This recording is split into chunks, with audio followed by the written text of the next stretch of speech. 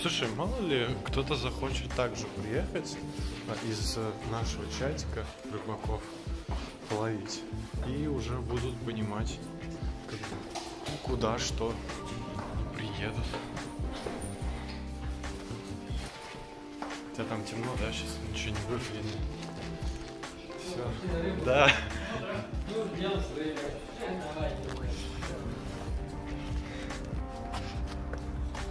Виват. Октябрьская, 57. Новороссийск. Кайфы.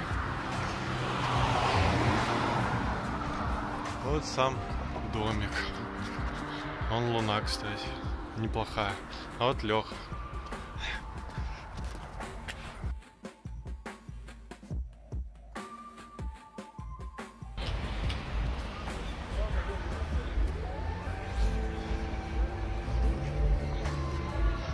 Одежда. Урны. Не знаю, много у магазов есть урны. Ну блин, как э, не скажешь даже, что в Новороссийске. В принципе. Люди хавают. Фонтанчик. Вот так выглядит рыба-петух. Вот она проехала. Мы таких ловить не будем. Мы хотим половить нормальную рыбу. Ох, хорошо, красиво. Леха там что-то заправляется. Фонтанчик. И Новороссийский заливчик, Черное море. И крейсер, у которого мы начнем свою рыбалку, потому что в прошлый раз под ним как из пулемета клевало.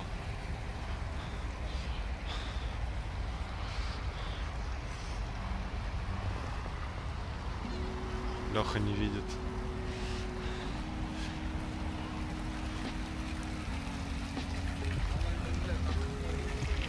Жик,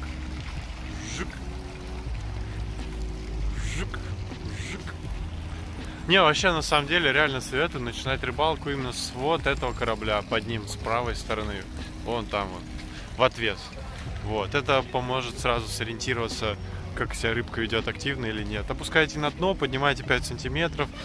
Тык-тык-тык, пару раз подергали, пауза, пару раз подергали, пауза. И она возьмет обязательно велодорожка.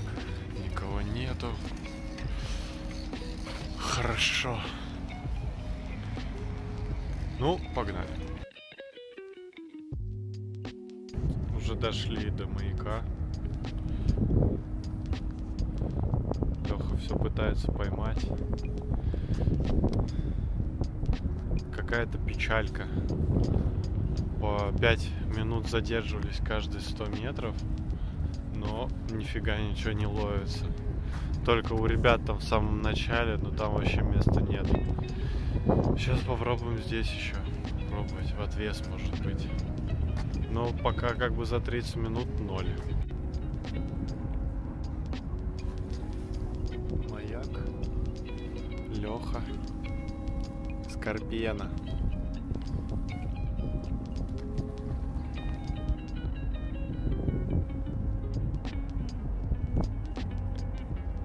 Красивый кораблик.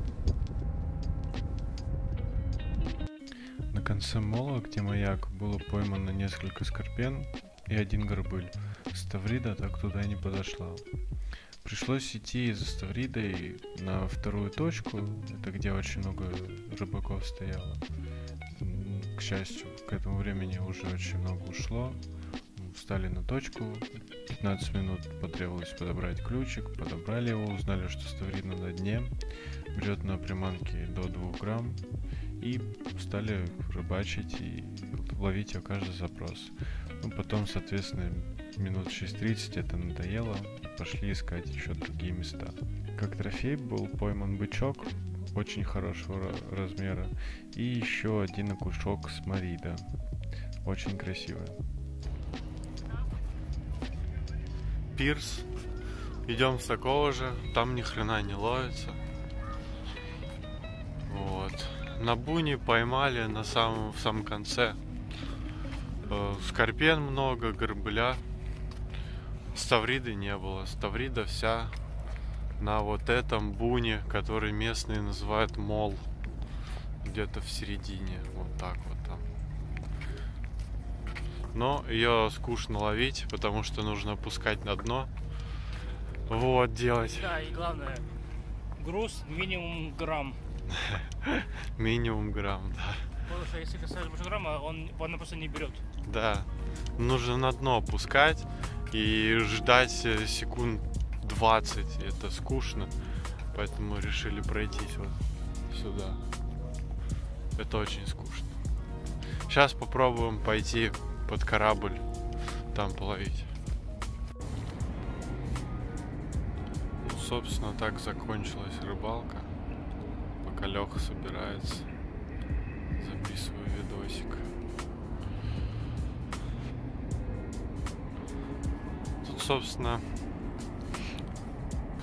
рыбы нет, рыбаков нет. Все на моле там рыбачат.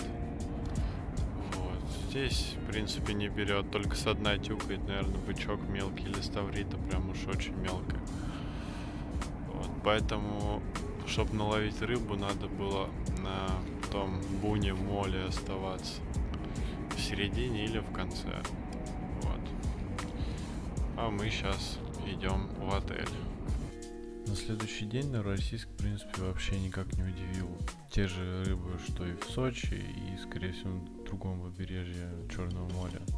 Абсолютно так же не берут после 7 утра и до 19.00. Поэтому чудо ждать не стоит от Новороссийска.